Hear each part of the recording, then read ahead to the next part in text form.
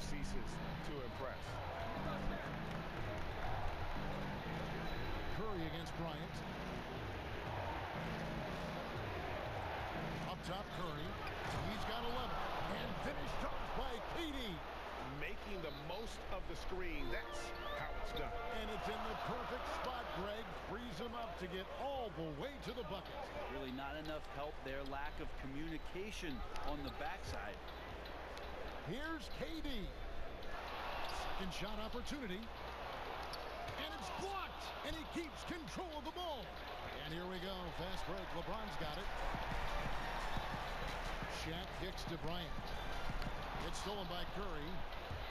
And Curry with the clear path to the hoop. And it's good for two.